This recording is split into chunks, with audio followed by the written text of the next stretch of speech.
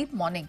Pressure क्यों इतना बढ़ रहा है इक्विटी मार्केट में? और क्या कोई वन फैक्टर है या मल्टीपल कारणों की वजह से? मल्टीपल कारण हैं बट हाँ। सबसे बड़ा फैक्टर तो जो एक बढ़ती बॉन्ड डील की चिंता बनी हुई है। थोड़ा कूल ऑफ़ हमने देखा था कल जब सुबह हम बात कर रहे थे उसकी वजह से बाज़ार का अच्छा मूड हुआ था।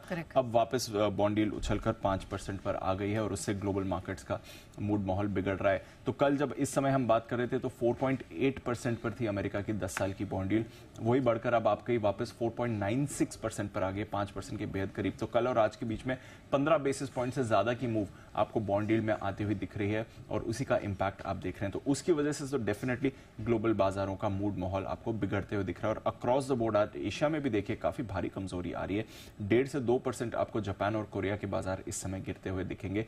आ, कोरिया का जीडीपी डेटा भी थोड़ी देर पहले आया था जो अनुमान से कमज़ोर था। तो उसका भी आपको इम्पैक्ट आते हुए दिख रहा है। गिफ्ट निफ्टी पर नज़र डालिए करीब पचासी अंक नीचे इस समय ट्रेड कर रहा है। तो परेशानी तो बाज़ार में अक्रॉस द बोर्ड आपको आती हुई दिख रही है।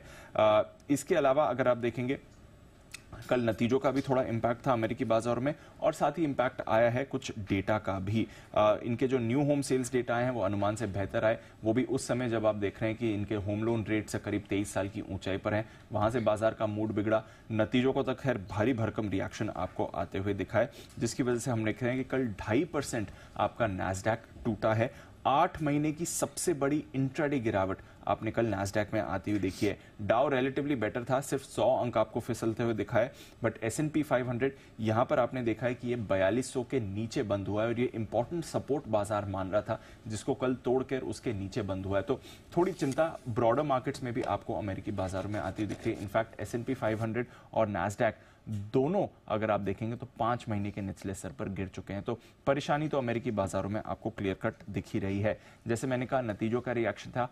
अल्फ़ाबेट का शेयर कल साढ़े नौ परसेंट टूटा है और कॉन्टेक्स्ट के लिए आखिरी बार जब इतनी बड़ी गिरावट इसमें आई थी इंटरडे तो वो कोविड का सेल ऑफ़ था। यानी कि मार्च 2020 में जो बड़ी गिरावट आई थी कोविड सेल ऑफ़ में, उसके बाद की सबसे बड़ी इंटरडे गिरावट कल आपने अल्फ़ाबेट में आती हुई दिख रही है। तो वहाँ से डेफिनेट प्रेशर आपने नैसडैक पर बनते हुए देखा और बाज़ार पर बनते हुए देखा।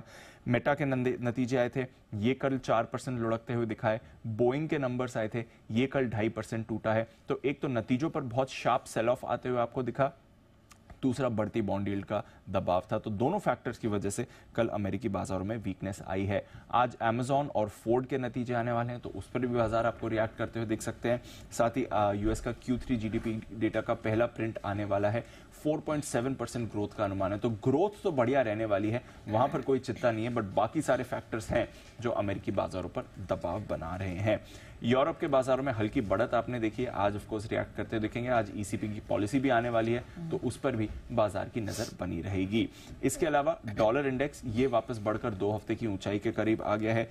कच्चा तेल कल दो परसेंट उछलकर नब्बे डॉलर पर आपको आते हुए दिखाए सोना वापस दो हज़ार डॉलर के करीब आ रहा है। बेस मेटल्स में उतना एक्शन नहीं था बट शुगर के दाम आपके 12 साल की ऊंचाई पर है। तो अक्रॉस द बोर्ड थोड़ी परेशानी इस समय वापस बाज़ार के लिए बन रही है और हैवी हैवी सेल ऑफ़ कल हमने इक्विटी मार्केट्स में देखा है। हम्म, चलिए तो अच्छे संकेत तो नहीं है। अब हमारे मार्केट उस पर कैसे देखने वाली बात होगी? धन्यवाद दी पूरी डिटेल के लिए।